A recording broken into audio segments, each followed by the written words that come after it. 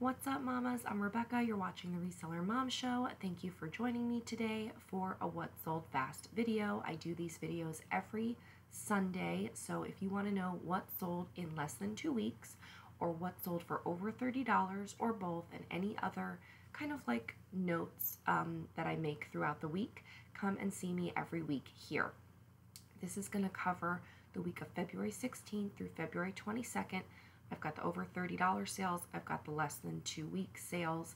It was an okay week, did a little over a $1,000, um, and I'll tell you why uh, at the end, but it was a solid week. No, no, nothing, you know, too much to complain about and nothing not to complain about.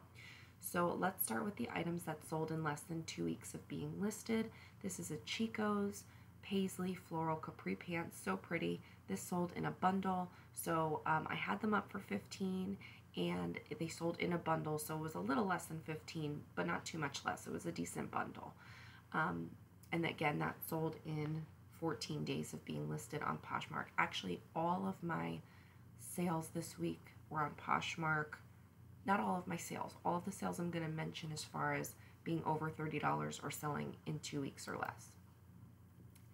This next item, I have all this pulled up. I don't know why it's taking so long.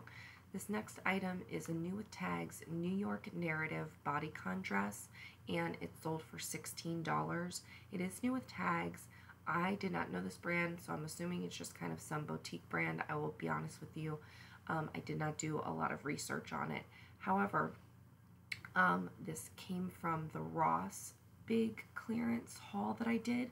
So if you're not familiar with that, I got over 150 items from multiple Ross stores, brand new with tags, on average $2. I think it was like 36 cents or $2.41 or something like that. Um, so even though this wasn't the biggest flip, I've included a lot of those items in my reseller boxes and I've also sold a good amount of them. You'll see a few of them here. So I feel like it was a good, you know, situation. The next item, my voice is so scratchy. This is the first time like I'm talking. I get up, everybody else is sleeping, it's quiet in my house, so I don't actually say anything. And then when I come on to do the video, I'm like, why am I so scratchy? Um, anyway, next up is an Anne Klein high-rise bootleg pants, brand new with tags. These sold for full price at $39. Um, I have them in size 1X and 2X. Uh, these were also from the Ross clearance, and so I bought multiple pairs of them so that I could have a multiple quantity listing, which I love. And so this was a great sale. That sold in 11 days. Nope. The, the red dress was 11 days of being listed. This was 10 days of being listed. Um, I apologize. I had all this set. What is going on? Um, okay, the next one is also from the Ross clearance sale. This is a Calvin Klein red sheath dress. Um, this sold on an offer. I think I had it up for 39 and with the offer to likers that my virtual assistant did, she has some automatic criteria to send it out. It came to $27 and that sold in eight days of being listed. This is an A New Day top and I've mentioned before that I actually still like picking up A New Day. It must have a following not every piece that I pick up sells, but certain nice, cute pieces do sell across the board size wise. This was a double XL, um, but just a really pretty top. And it sold for $15. This was actually part of a bundle as well. I don't know if it was a bundle with the Chicos or if it was a different bundle though, but it wasn't a bundle. And so it wasn't for $15, but it wasn't much less. And that sold in eight days of being listed as well. Next up are these North Face shorts. I, these are, okay. I was just looking to see because I'm like, oh, I've had these for a while. And that's the problem is that, let me see if I can see it here. So these look like they were from September of last year, perhaps, because they're relisted, and that's and that's the thing. I have my VA doing some relists. I have her doing about five a day right now on Poshmark, so she's going down to the oldest items in my closet. as long as they're over a certain dollar amount, I can't remember 15 or $20, I'm having her relist them automatically onto Poshmark. And that's mostly because I have a bottleneck right now. I've been busy doing some other projects. I can't take as many photos. Normally, I do 10 items a day worth of photos, um, but now I'm only doing five items a day worth of photos. So I'm having her continue doing 10 listings for me. Five are new items, five are relists, just for a short period of time while I work on a couple of things. So these were relists. So it does say that it was from February of 2020, but that's because of the relist. So it looks like I said that they were from September of last year. Um, and it was an $18 offer. They're men's, and that's fine. So from them being listed this time, they sold in four days of being listed this time around. And that's the funny thing about relists. It's worth it sometimes. Um, this next item is distressed, destroyed mom jeans from American Eagle Outfitters. And these are not, yeah, I felt like I had a pair that were new with tags, but these are not the ones. So these were just a new item being sold. I think that I got these the bins. I think I got these at the bins. Um, and so they, I took an offer for seven. That actually might have been an offer to Likers for seventeen dollars. And those sold in three days of being listed. These are new with tags. These are from the bins. New with tags, Gap, broken in, straight khakis. They were a size 18. And I don't know if I had them up for 10 or if I had them up for 15. I did not put them up for much, and here's why. I used to pick up a lot of Gap in the beginning when I first started as a reseller, and it would actually sell. Um, and then, you know, it wouldn't.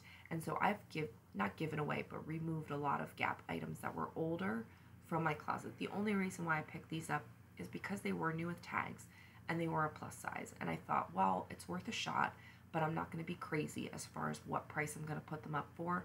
So I either only put them up for 10 or I only put them up for 15. And I was okay with that. And I know that people get a little crazy about pricing, but everyone gets to choose how they do their pricing. And if I want to choose to sell something for cheaper, or if I want to choose to list it for cheaper, I have every right to do that. I know that some people say that it tanks the market, and there is a case to be made for that. I do recognize that. But at the same time, things sell for different prices for different people for all reasons all the time. And so there's there's no sense in telling other people what to do with their business. All you can do is tell yourself what you can do for your business and do those things and execute and make profit. That's really all you can do at the end of the day. All I can do is control what I do and what I share. I choose to share more than less, um, and that's what works for me, and I'm okay with that. Um, so I sold these for ten dollars. I made a seven dollar profit after pro- um, Poshmark fees, and you know it probably cost me a dollar for them, give or take. So that's about six dollars, and it was a quick. I didn't take that many photos. Like when you're doing things in more bulk and you're already sourcing and you're already listing or you're already doing things, I don't mind certain items only bringing me $5 of profit. You could make an argument that I pay my VA, I pay for sharing, I pay for storage unit. So maybe I only made $2 on this. But $2 grouped in with everything else that I did at the time that I bought them and at the time that I photographed them and at the time that my VA listed them, I'm okay with that. So some things make more money than others. Next up is a new with tags Lauren Ralph Lauren dress, beautiful emerald color. This was also from that Ross clearance, and this sold on an offer for $20. Now, this one really did kind of bug me a little bit, but here's the reason. If you are a person that is or isn't relying on this reseller income for all of your bills, um, and I'm not, my husband with his salary, thank goodness, does pay most of our bills. But I am trying to grow this business to where I am making the money I used to make when I worked a traditional job. So I'm treating it like I have to pay the bills with this money. I want to make a certain amount. I'm trying to make a certain amount. I'm slowly building to that. I've made some mistakes, I've had some pitfalls, but I am trying to rely on the money that I make. And so you can't go a day with no sales. I mean, you can, but I don't want to. And so I'll take a little less on a day that I have less sales so that I can still make the profit on this item. I'm still making profit here. So that's my opinion. I've said it before. I just feel the need to say it because I think a lot of people get kind of crazy about it. And that's fine, but I don't. Um, so that sold in zero days of being listed. Because again, I don't want to store this dress. Maybe that was my buyer. Maybe that's what the market dictates. Maybe if I had held out for six weeks or six months, I would have gotten $39 for it. Maybe I'd still have it at the end of six weeks or six months. Maybe I don't have the space to hold things for that long. Maybe I only have a limited space. And I do have a limited space, it's my storage unit, um, but I have a bigger space than most. But some people, that's another reason why they need things to sell fast or they need things to sell for less money than they'd like because of a space issue. So everybody can run their business however they want. So for the numbers, here's why I had a good week, even though on Poshmark for the on my rack closet, I had only an okay week. So on my main closet, on my rack, which is all of those individual items, I sold 30 items for $519 in sales. Eh, it's okay. Not great um, for me, from what I want to be doing. But the Reseller Mom Show closet, which has my reseller boxes, so if you don't know, I sell reseller inventory boxes. They're $35 normally for six items plus. and there's all the details. If you go to at Reseller Mom Show on Poshmark, you can find all that info. It's linked down below. I sold 16 boxes um, for $495. I had a couple of boxes that were less than $35 um, because that was the box. And then I also ran a sale on Saturday because I have so much inventory right now in bins for reseller boxes in my reselling room. And it's, I wanted to say, like, oh, I'll just slowly work through it, but it's really bugging me. I can't move in there and it's just making me stressed out. So I'd rather get the sales now than wait till later. So if I don't have anything later, I'll just put the store on vacation mode and it can wait for a little bit if I don't have enough inventory for reseller boxes. But for right now, I just want to sell them. So I did a sale just to try. It's the first time I've ever done a sale like that um, with my audience. I've made individual offers to people before I shared it with my audience and I will I have plans and have started my talking points for more videos on the reseller boxes. I know a lot of people have asked me and I asked, "Did you want it?" and they've said yes. So I'm working on it. It's coming. So, I did I did the 35 I did $5 off any box. So if it was a $35 box, it was 30. If it was a $20 box, it was 15. And that was fine I sold a bunch. I actually don't remember off the top of my head how many I sold yesterday, but it was at least six or eight, something like that, which was great. Um, and then throughout the week, I sold a total of 16. And so that really saved my week. And the reason I did that, and just to give you an idea, I'm going to do my end of February monthly report like I did for January because I think it's nice to show over a month view what daily sales look like, what's actually happening in my resale business on a day to day basis, kind of thing, um, but from an overview. And I noticed that I was tracking behind for this month. You know, I have a certain goal um, that will allow me to meet all of my obligations for my business, as well as pay myself what I want, as well as save for taxes and have profit money, etc. And I was tracking below the sales numbers that I needed to hit all of that.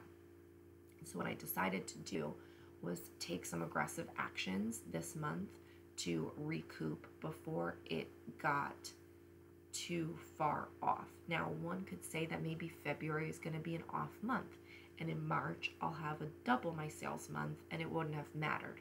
But for me, I like to track all along.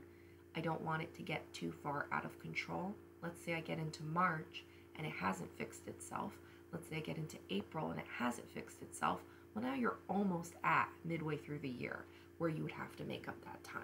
Then you have the summer, which is slow, you know, notably to begin with. So I don't want to let things get out of hand. I want to either be up and let that work itself out or be down and start making corrections. So more will come on that exactly when I do the month end video. Um, but I did want to share it now just so you know how this particular week shook out. About half was in regular sales on, on my rack and half was in reseller box sales. All of that was on Poshmark. No items sold on eBay. That's fine. I haven't listed anything on eBay since December 1st, but I am making the plans, formulating the plan for an eBay comeback. I will be sharing more on that soon. So if you're interested in how I'm going to completely from scratch revamp my eBay store, stay tuned because that is coming. And then um, on Mercari, I sold four items, which is okay for a week, um, and that was for $95 in sales. I just, Mercari has been very upsetting to me. Um, so 50 items sold, $1,100 in sales, $22 gross ASP. In general, that's okay with me. We have nine items that sold in less than two weeks. We have three items that sold in less than a month on top of that, three more that sold in less than two months. This is terrible. Zero that sold between being listed from two to six months. That's crazy. Um, because I, you know, I show you what sells in less than two weeks. I see what happens in less than two months just to kind of get an idea. But really, I'm okay with something taking between two and six months to sell. Like, that's fine. Um, because of seasonality and because I list things of all seasons, that's going to be, you know, an issue. But to have nothing sell, having been listed in two to six months, that almost indicates to me, and I can't say for sure, but it's leading me down a path where I think that what I'm sourcing is not going well. Um, and it could be because that's within the time frame that I've decided to do the reseller boxes and I've been giving away all the good stuff in the reseller boxes because I want things to move quickly and I want to get the sales. So do I want to wait 2 to 6 months for it to sell for me or do I want to turn around the Anthropologie and the Lululemon and the whatever I get with brand new with tags and you know the Torrid um, in the reseller boxes, take my profit off the top, and then allow you to also make profit by selling it. But you're going to be the one that may have to wait on it if it takes a little bit to sell, but they're all profitable items. So it's interesting to look at. And it's not to say that I won't do the reseller boxes anymore, but I may change gears or I may put them on pause and say, okay, when I get an influx of stuff, I'll sell some and then I'll put it on vacation mode and then I'll sell more. Or maybe it says, you know what? I'm okay to still sell $500 worth of resale boxes. And I only sold $500 worth of my own items. And I had to do a whole lot of a lot of work for the my own items than I did for the reseller boxes. And so maybe that's more of a direction that I go in and I double down on that. I mean, you just don't know. So I'm just blabbering. Um, so, and then 12 items that sold in six months plus, which makes sense because I've been doing the relists. And so some of the items then are being relisted. So one item sold for over $30, and that is this Vince Camuto dress. Now, this was an item. I want to see if it was a relist. No.